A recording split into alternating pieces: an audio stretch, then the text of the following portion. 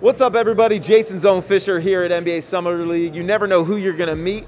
And right now, I am here with the one and only Nick Van Exel. Nick, you've been coming to Summer League forever. What's your mm-hmm. favorite thing about being here and this whole experience? To me, it's just the young players. You know, get to see these guys try to, you know, fulfill their, their dreams of being an NBA basketball player. And then you got the crowd back from last year.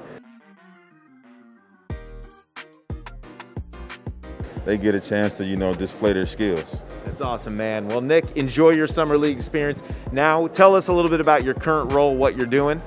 I'm doing some scouting right now, so, you know, I get a chance to watch these young players up close and personal and watch the veterans once the season starts. So, and then I just take a lot of information as much as I can and store it. All right, well, look out, the Dallas Mavericks. We got the best scout in the biz. He's got to get out there and go check out the future today here at NBA Summer League. Really appreciate it, man.